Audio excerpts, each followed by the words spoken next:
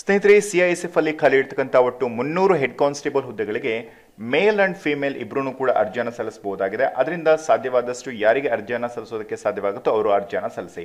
ಹಾಗೆಯೇ ಈ ಹುದ್ದೆಗಳಿಗೆ ಅರ್ಜಿಯನ್ನು ಸಲ್ಲಿಸತಕ್ಕಂಥ ಅಭ್ಯರ್ಥಿಗಳು ಹದಿನೇಳು, ಹನ್ನೆರಡು, ಎರಡು ಸಾವಿರದ ಹತ್ತೊಂಬತ್ತರ ಒಳಗಾಗಿ ಅರ್ಜಿಯನ್ನು ಸಲ್ಲಿಸಬೇಕು. ಜೊತೆಗೆ ಇದು ಸ್ಪೋರ್ಟ್ಸ್ ಕೋಟಾದ ಮೇಲ್ಗಡೆ ಇರತಕ್ಕಂಥ ಹುದ್ದೆಗಳಾಗಿರೋದ್ರಿಂದ ಈ ಒಂದು ಕೋಟಾದ ಬೇಸ್ ಮೇಲೆ ಅರ್ಜಿಯನ್ನು ಸಲ್ಲಿಸೋದಕ್ಕೆ ಮಾತ್ರ ನಿಮಗೆ ಅವಕಾಶ ಇರುತ್ತೆ. ಸೊ ಇದರಲ್ಲಿ ಸ್ಪೋರ್ಟ್ಸ್ ಕೋಟಾ ಅಂತ ಹೇಳಿದ್ರೆ, ಇದರಲ್ಲಿ ನೀವು ಯಾವ ಯಾವ ಸ್ಪೋರ್ಟ್ಸ್ ಬೇಸ್ ಮೇಲ್ಗಡೆ ನೀವು ಅರ್ಜಿಯನ್ನು ಸಲ್ಲಿಸಬಹುದು ಅಂತ ಹೇಳಿದ್ರೆ, ಇದರಲ್ಲಿ ಅಥ್ಲೆಟಿಕ್ಸ್ ಅಲ್ಲಿ ಪಾರ್ಟಿಸಿಪೇಟ್ ಮಾಡಿರ್ತಕ್ಕಂಥ ಅಭ್ಯರ್ಥಿಗಳಾಗಿರ್ಬೋದು ಬಾಕ್ಸಿಂಗ್ ಅಲ್ಲಿ ಇರ್ತಕ್ಕಂಥವರು ಅಥವಾ ಬಾಸ್ಕೆಟ್ಬಾಲಲ್ಲಿ gymnastic, football, hockey, handball, judo, kabaddi, shooting, swimming volleyball weight lifting wrestling ಹಾಗೆಯೇ ಟೈಕೊಂಡು ಈ ಸ್ಪೋರ್ಟ್ಸಲ್ಲಿ ನೀವೇನಾದ್ರೂ ಕೂಡ ನ್ಯಾಷನಲ್ ಆಗಿರ್ಬೋದು, ಇಂಟರ್ನ್ಯಾಷನಲ್ ಕಾಂಪಿಟೇಷನ್ ಆಗಿರ್ಬೋದು, ಇಂಟರ್ ಯೂನಿವರ್ಸಿಟಿ ಟೂರ್ನಮೆಂಟ್ ಆಗಿರ್ಬೋದು, ನ್ಯಾಷನಲ್ ಸ್ಪೋರ್ಟ್ಸ್ ಆಗಿರ್ಬೋದು, ಅಥವಾ ಗೇಮ್ಸ್ ಫಾರ್ ಸ್ಕೂಲ್ ಕಾಂಪಿಟೇಷನ್ ಈ ಒಂದು ಸ್ಪೋರ್ಟ್ಸ್ಗಳಲ್ಲಿ ಪಾರ್ಟಿಸಿಪೇಟ್ ಮಾಡಿ ಮೆಡಲನ್ನು ತೊಗೊಂಡಿದ್ರಿ ತಗೊಂಡಿದ್ರಿ ಅಂತ ಹೇಳಿದ್ರೆ ನೀವು ಅರ್ಜಿಯನ್ನು ಸಲ್ಲಿಸ್ಬೋದು. ಆಮೇಲೆ ಸಮ್ ಗೇಮ್ಸ್ಗಳಲ್ಲಿ ನೀವು ಪಾರ್ಟಿಸಿಪೇಟ್ ಮಾಡಿದ್ರು ಕೂಡ ನೀವು ಈ ಹುದ್ದೆಗಳಿಗೆ ಅರ್ಜಿಯನ್ನು ಸಲ್ಲಿಸಬಹುದಾಗಿರುತ್ತೆ. ಇದರಲ್ಲಿ ನೀವು ವೈಯಕ್ತಿಕವಾಗಿರ್ಬೋದು ಅಥವಾ ತಂಡದ ಮೂಲಕವಾಗಿ ಆಡಿದ್ರು ಕೂಡ ನೀವು ಈ ಹುದ್ದೆಗಳಿಗೆ ಅರ್ಜಿಯನ್ನು ಸಲ್ಲಿಸಬಹುದು. ಸೊ ಇದು ಬೇಸಿಕಲಿ ನೀವು ಈ ಒಂದು ಕ್ರೈಟೀರಿಯಾನ ಫಿಲ್ ಮಾಡ್ತಿದ್ದೀರಾ ಅಂತ ಹೇಳಿದ್ರೆ ಮಾತ್ರ ನೀವು ಈ ಹುದ್ದೆಗಳಿಗೆ ಅರ್ಜಿಯನ್ನು ಸಲ್ಲಿಸಬಹುದು. ಆಮೇಲೆ ಈ ಒಂದು ಪೋಸ್ಟ್ಗಳಲ್ಲಿ ಇರತಕ್ಕಂಥ ಪೇ ಸ್ಕೇಲ್ ಅನ್ನು ನೋಡೋದಾದ್ರೆ ಇಪ್ಪತ್ತೈದು ಸಾವಿರದ ಐದುನೂರು ರೂಪಾಯಿಂದ ಎಂಬತ್ತೊಂದು ಸಾವಿರದ ನೂರು ರೂಪಾಯಿವರೆಗೂ ಕೂಡ ನಿಮಗೆ ಪೇ ಸ್ಕೇಲ್ ಇರುತ್ತೆ. ಜೊತೆಗೆ ಇತರೆ ಸೆಂಟ್ರಲ್ ಗೌರ್ಮೆಂಟ್ ಅಲೋಯನ್ಸಸ್ ಕೂಡ ನಿಮಗೆ ಸಿಗ್ತಾ ಇರುತ್ತೆ. ಹಾಗೆಯೇ ಇದರ ಎಲಿಜಿಬಿಲಿಟಿ ನಿಮಗೆ ಕಂಪ್ಲೀಟ್ ಆಗಿ ಗೊತ್ತಾಗಿದೆ. ಹಾಗೆಯೇ ಕ್ವಾಲಿಫಿಕೇಶನ್ ಕೂಡ ಗೊತ್ತಾಗಿದೆ.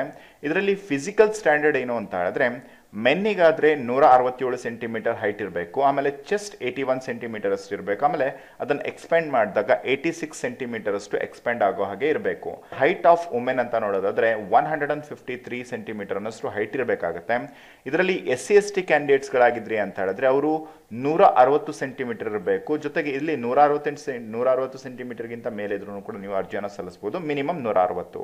ಜೊತೆಗೆ ಇದರಲ್ಲಿ ಎಸ್ ಸಿ ಎಸ್ ಟಿ ಅಂತ ಹೇಳಿದ್ರೆ ಈ ಕ್ಯಾಂಡಿಡೇಟ್ಸ್ಗಳಿಗೆ ಮಾತ್ರ, ಅಂದ್ರೆ ಇಲ್ಲಿ ನಿಮಗೆ ನೀಡಿರ್ತಕ್ಕಂಥ ಕ್ಯಾಂಡಿಡೇಟ್ಸ್ಗಳು ಏನಿರುತ್ತೆ ಟಿಕ್ ಮಾಡಿರ್ತಕ್ಕಂಥ ಅವರು. ಮಾತ್ರ ನೀವು ಈ one hundred and sixty centimetre ಇರ್ಬೋದು. ಆಮೇಲೆ ಅವರ ಚೆಸ್ಟ್ ಏಯ್ಟಿ ಒನ್ ಸೆಂಟಿಮೀಟರ್ ಇರಬೇಕು ಅದನ್ನು ಎಕ್ಸ್ಪ್ಯಾಂಡ್ ಮಾಡಿದಾಗ ಏಯ್ಟಿ ಸಿಕ್ಸ್ ಸೆಂಟಿಮೀಟರ್ ಅಷ್ಟು ಇರಬೇಕು. ಹಾಗೆ women ಕೆಟಗರಿಯಲ್ಲಿ one hundred and fifty three centimetre ಅಷ್ಟು ಹೈಟ್ ಇರಬೇಕಾಗುತ್ತೆ. ಸೊ ಇದಿಷ್ಟು ಬೇಸಿಕಲಿ ಫಿಸಿಕಲ್ ಸ್ಟ್ಯಾಂಡರ್ಡ್ಸ್ಗಳಾಗಿದ್ದಾವೆ ಇದರ ಜೊತೆಗೆ ಈ ಒಂದು ಹುದ್ದೆಗೆ ಸಂಬಂಧಪಟ್ಟಂತೆ ಸೆಲೆಕ್ಷನ್ ಪ್ರೊಸೆಸ್ ಅನ್ನ ನೋಡೋದಾದ್ರೆ, ಇಲ್ಲಿ ಮುಖ್ಯವಾಗಿ ಟ್ರಯಲ್ ಟೆಸ್ಟ್ ಅನ್ನ ಮೊದಲು ನಡೆಸಲಾಗುತ್ತೆ. ಈ ಒಂದು ಟ್ರಯಲ್ ಟೆಸ್ಟ್ ಇವೆಂಟ್ ಅಲ್ಲಿ ನೀವು ಯಾವ ರೀತಿಯಾಗಿ ಪಾರ್ಟಿಸಿಪೇಟ್ ಮಾಡಿರ್ತೀರಾ, ಅದರ ಆಧಾರದ ಮೇಲೆ ನಿಮಗೆ ಪ್ರೊಫಿಷಿಯಂಟಿ ಟೆಸ್ಟ್ ಅನ್ನ ನಡೆಸಲಾಗುತ್ತೆ. ಈ ಪ್ರೊಫಿಷಿಯನ್ಸಿ ಟೆಸ್ಟ್ ಒಳಗಡೆ ನೀವು ತೆಗೆದುಕೊಂಡಿರ್ತಕ್ಕಂಥ ಅಂಕಗಳ ಆಧಾರದ ಮೇಲೆ ಫೈನಲ್ ಸೆಲೆಕ್ಷನ್ ಲೀಸ್ಟ್ ಅನ್ನು ನೀಡಲಾಗುತ್ತೆ. ಈ ಒಂದು ಫೈನಲ್ ಸೆಲೆಕ್ಷನ್ ಲೀಸ್ಟ್ ಅಲ್ಲಿ ಇರ್ತಕ್ಕಂಥ ಅಭ್ಯರ್ಥಿಗಳಿಗೆ ಮೆಡಿಕಲ್ ಎಕ್ಸಾಮಿನೇಷನ್ ಅನ್ನು ನಡೆಸಲಾಗುತ್ತೆ. ಈ ಮೆಡಿಕಲ್ ಎಕ್ಸಾಮಿನೇಷನ್ ಅಲ್ಲಿ ಪಾಸ್ ಆಗಿರ್ತಕ್ಕಂಥ ಅಭ್ಯರ್ಥಿಗಳನ್ನ ಈ ಜಾಬ್ಗಳಿಗೆ ರಿಕ್ರೂಟ್ ಮಾಡಿಕೊಳ್ಳಲಾಗುತ್ತೆ ಹಾಗೆ ಅಪ್ಲಿಕೇಶನ್ನ ಸಲ್ಲಿಸ್ತಕ್ಕಂಥ ಅಭ್ಯರ್ಥಿಗಳು, ಮುಖ್ಯವಾಗಿ ಇದರಲ್ಲಿ ಒ ಬಿ ಸಿ ಕ್ಯಾಂಡಿಡೇಟ್ಸ್ಗಳಿಗೆ ಹಾಗೂ ಜನರಲ್ ಕ್ಯಾಂಡಿಡೇಟ್ಸ್ಗಳಿಗೆ ನೂರು ರೂಪಾಯಿ ಅರ್ಜಿ ಶುಲ್ಕವನ್ನು ವಿಧಿಸಲಾಗಿದೆ. ಹಾಗೆ ಎಸ್ ಸಿ ಎಸ್ ಟಿ ಕ್ಯಾಂಡಿಡೇಟ್ಸ್ಗಳಿಗಾಗಿರ್ಬೋದು ಹಾಗೆಯೇ ಮಹಿಳಾ ಅಭ್ಯರ್ಥಿಗಳಿಗೆ ಮತ್ತು ಮಾಜಿ ಸೈನಿಕ ಅಭ್ಯರ್ಥಿಗಳಿಗೆ ಇವರಿಗೆ ಅರ್ಜಿ ಶುಲ್ಕದಿಂದ ವಿನಾಯಿತಿಯನ್ನು ನೀಡಲಾಗುತ್ತೆ. ಹಾಗೆ ಅರ್ಜಿ ಶುಲ್ಕವನ್ನು ಪಾವತಿಸ್ತಕ್ಕಂಥ ಅಭ್ಯರ್ಥಿಗಳು ಆಯಾ ಅಥಾರಿಟಿಗೆ ಸಂಬಂಧಪಟ್ಟ ಹಾಗೆ ನೀವು ಅರ್ಜಿ ಶುಲ್ಕವನ್ನು ಪಾವತಿಸಬೇಕಾಗುತ್ತೆ. ಇಲ್ಲಿ ನೀವು ಯಾವ ಒಂದು ಸ್ಪೋರ್ಟ್ಸ್ಗೆ ರಿಲೇಟೆಡ್ ಆಗಿ ನೀವು ಅರ್ಜಿಯನ್ನು ಸಲ್ಲಿಸ್ತಾ ಇರ್ತೀರೋ ಸೊ ಅಂಥವರು ಆಯಾ ಸ್ಪೋರ್ಟ್ಸ್ಗೆ ಸಂಬಂಧಪಟ್ಟ ಹಾಗೆ ಅಧಿಕಾರಿಗಳಿಗೆ ನೀವು ಅರ್ಜಿ ಶುಲ್ಕದ ಈ ಒಂದು ಡಿಮ್ಯಾಂಡ್ ಡ್ರಾಫ್ಟನ್ನು ನೀವು ಕಳಿಸ್ಕೊಡ್ಬೇಕಾಗುತ್ತೆ. ಸೊ ಎಲ್ಲ ಸ್ಪೋರ್ಟ್ಸ್ಗಳಿಗೆ ರಿಲೇಟೆಡ್ ಆಗಿರ್ತಕ್ಕಂಥ ಅಡ್ರೆಸ್ ಅನ್ನ ಇಲ್ಲಿ ನೀಡಲಾಗಿದೆ.